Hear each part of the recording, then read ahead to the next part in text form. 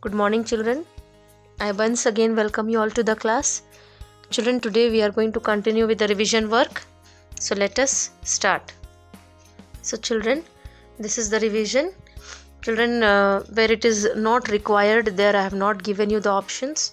Okay, but in your exams, you are going to get four options and you have to choose the correct answer. So, this is revision 2. You write down the date and pattern will be same okay so you complete this work in your english copy and study for your exams children okay? Thank you